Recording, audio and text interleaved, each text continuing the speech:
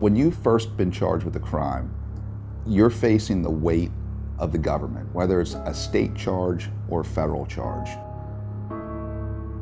They have all of the money, all of the resources.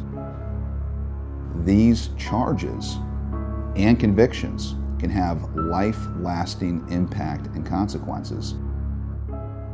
It can rip your entire life apart, and that's what you're up against. It's a very scary thing to be charged with a crime.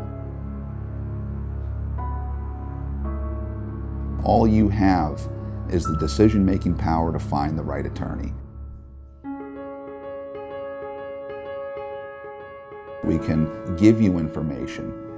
We can guide you through the process. Most importantly, we can provide a strategy for how we're going to deal with these charges. There's a lot that the right attorney can do for you. And the beauty of retaining an attorney is, is that you get to make that choice. Because when you're charged with a crime, you now have the scarlet letter. And it's my job to do my very best to have that stain removed from you. Because society will look at you differently.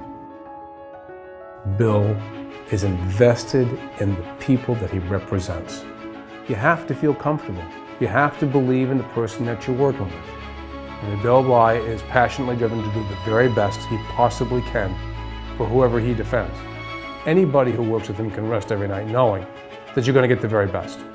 When looking for some peace in my life and a place that I could reach out and grab onto, I guess you're going down the street and reaching out for the vine to grab onto, um, you know, that's, this was it. The law is extremely complex. I'm a big believer in, in specialization in one field of practice. If you want to defend people's liberty when their lives are on the line, then you need to put all of your energy and focus into, into criminal defense. And that's all I do. Law enforcement is not perfect. The prosecution is not perfect.